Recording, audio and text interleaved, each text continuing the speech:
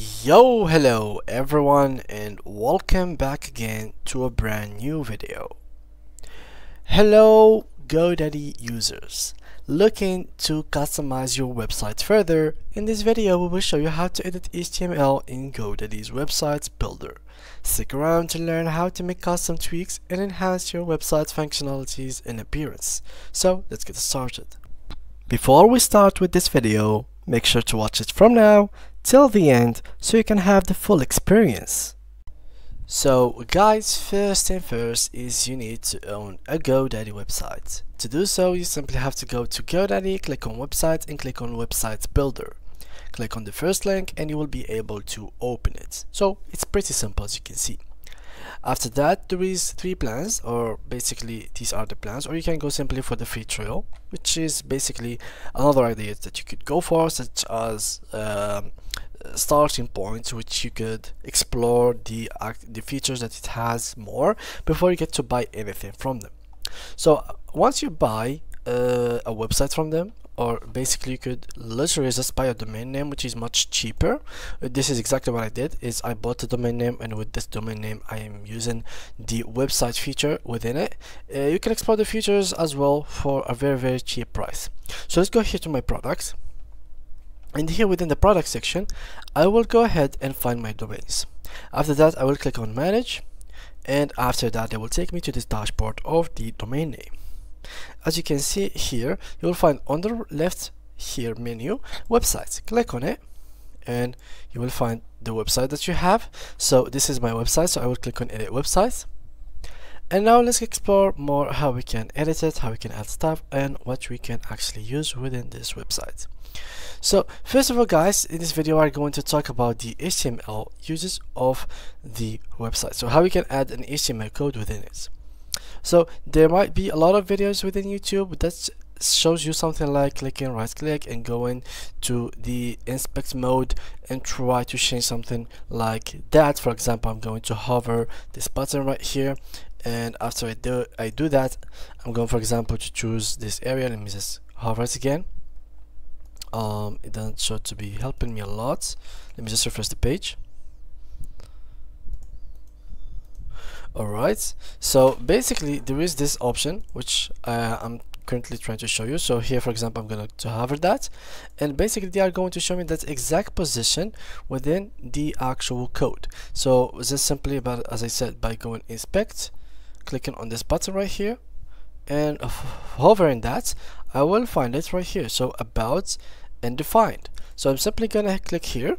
For example change it to tutorial and as you can see the text right here is going to be changing to whatever thing I would like it to be. So you can simply just change it. I have some lag right now. I don't know why but this is a method that people are actually showing on YouTube right nowadays and basically it is a scam. Why? So because as you can see I have changed the text to be tutorial. But once I have refreshed it let me just refresh the page.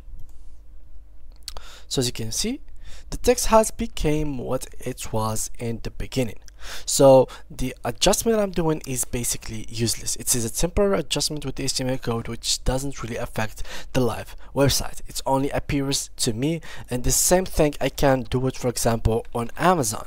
I can go to Amazon let me just go to amazon.com and literally even though I don't own Amazon let me just show you here I don't really own Amazon or don't have the access into it, I can literally do the same thing. Click here, click on inspect, and then click on whatever thing I'd like to change. For example, shop or this PC. I'm going to change it to whatever I, I want. So, uh, hello guys. So I'm going to change it to hello guys and look what will happen it changed to hello guys does it mean that everyone can actually see it as it is no hacking this is basically could call it hacking if it, that was the thing. But hacking is not that simple guys. It's not something that you click two buttons and you will literally get into the amazon official website. So once now i refresh it this npc will become what it was once it has been made in the essential form. So in this video I'm going to talk about the embed code and how you can actually have it. So here click first of all on add section. And here within this add section you have to find here an embed code. So in case you didn't find it. You have to search for it. And as you can see there's nothing that actually allows you to have it beside this HTML so find the HTML here and click on add so you simply have to search for HTML and then add it. After you do so you simply have to write the code right here. So here you'll have the area. So you can use this to inject HTML, CSS and JavaScript into your site between the body tags. Only try this advanced feature if you are confident working with code. So here give it a title and here write your custom code. So what we're gonna do right now is to go ahead and open ChatGPT. I'm not used enough or uh, with the coding so I'm gonna ask ChatGPT to give me a simple code.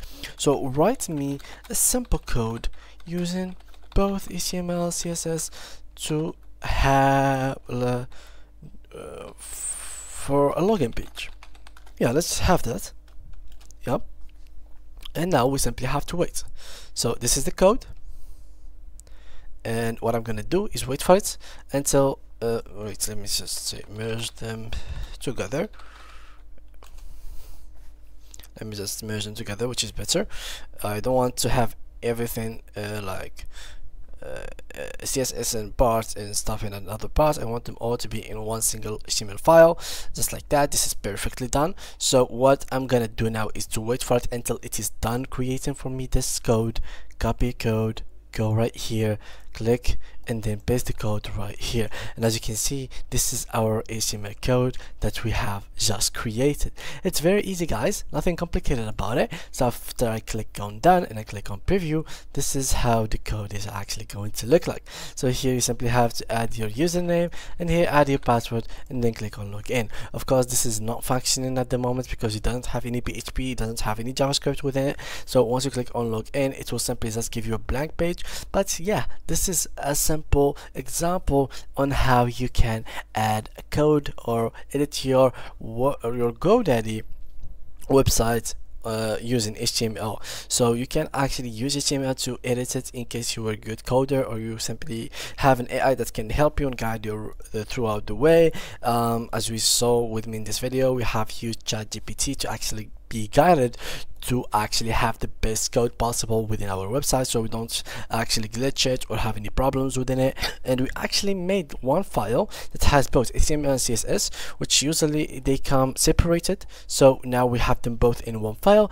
I guess if I asked it for an JavaScript JavaScript uh, injected within this file it might even be better. So we have better results. But yeah this is the main idea that I wanted to show you guys. So that is basically it. I hope you like this video guys a lot. And thank you guys for watching this video.